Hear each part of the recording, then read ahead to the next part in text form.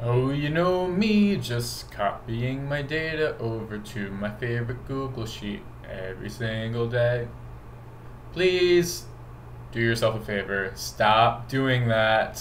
I know I'm voicing over right now, but please, we have tools for this. So to start off, what we'll do is go to mixedanalytics.com, and here we will be able to get a copy of API connector for our sheets. It looks like I already have a copy of API connector, so once you have it installed, you'll be able to access it by clicking on extensions, and then you'll be able to open Mixed Analytics API connector here. It should pop up over here on the side. This side.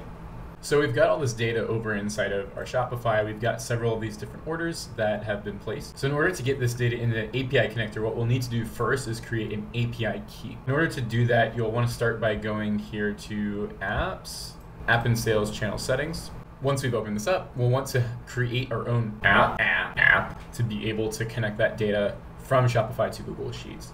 So go ahead and click on develop apps and then we'll create an app and you can just call this something like, you know, Shopify to Sheets or something, whatever is okay for you. Um, then we'll go ahead and create that app. And then for the next step, what we'll do is configure our admin API scopes. This basically tells us what information we can access in terms of either read or write. I would suggest just choosing read on the things that you need. So for today's example, we're just going to be pulling orders in. So we'll be able to read those orders. So we'll go ahead and save that. So from here, we'll want to go ahead and install that app. So yes, of course, you made it safe. Um, at API credentials, you'll want to grab this token. So um, be sure you're only going to be able to reveal it once, so make sure you store it somewhere safe. I'll go ahead and grab a copy of that now, and then I'll head back over to my Shopify demo. I'll head over to my sheets that I want to pull Shopify data into. So yeah, we'll go ahead and open up the extension here. I'll call it simple report, for example. So I'll go ahead and run a request to show you the process. So what we'll do is go up here to application, we'll type in Shopify, we'll go ahead and paste in the authorization key that we got from over at our dashboard. And then for the endpoints, let's just get a simple report. What we'll do is pull in all of the orders that are available um, for that particular shop. So I've got my OJ stand over here. And so I'll go ahead, punch that in here, set that current destination sheet, and then call it simple report. And then just kick back and relax. So go and run it there you go. So there's all the orders for my different uh, products along with their prices, no problem. So another thing that you can check out is over here in the endpoint, there's also different types of orders that you can get. Basically the main difference between these two is that this one has specific fields chosen for you. This will return a lot more data, which you may or may not need.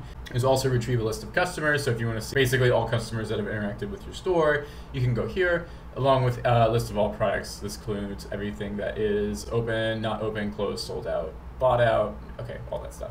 Okay, so let's go ahead and just test out this retrieve list of orders. Maybe you want to get slightly different data depending on your use case. So what we'll go ahead and do is type in the uh, domain for our shop name. So I got my OJ stand uh, field. Let's just say, for example, I want to get the contact email, financial status, and I want to get source URL here, some marketing stuff, right? I just want to get all this marketing data in one place. So punch that in, and then maybe status, we'll say any, and then let's just see what happens. So save, run. I'm not so sure why I wasn't impressed here. So fields are going to be pretty important uh, because of limitations set by Google on services like ours. We can only run a function for about six minutes before we are timed out. So do just pull the data that you need. This also makes it run faster for you, so it's a better experience as well. If you're more of a reader, you can head over to mixedanalytics.com, check out our knowledge base, and then head down over to our step-by-step -step API guides. You'll be able to read up more here on how Shopify API fits within the context of API connector you're really wanting to geek out, check out Shopify's actual API documentation. And as you'll see over the documentation, there's all kinds of resources, but you'll want to mainly focus here on admin API. So head over to REST reference, and from here you'll be able to find stuff like your customers' data, um, inventory, orders, products, and most of the things you're interested in. Awesome, y'all. Thanks for watching. So if you did find that video useful, please stay tuned on this channel to learn more about what Mixed Analytics can do for you and pulling your data from various sources across the internet into Google Sheets. Thanks. Have a good one.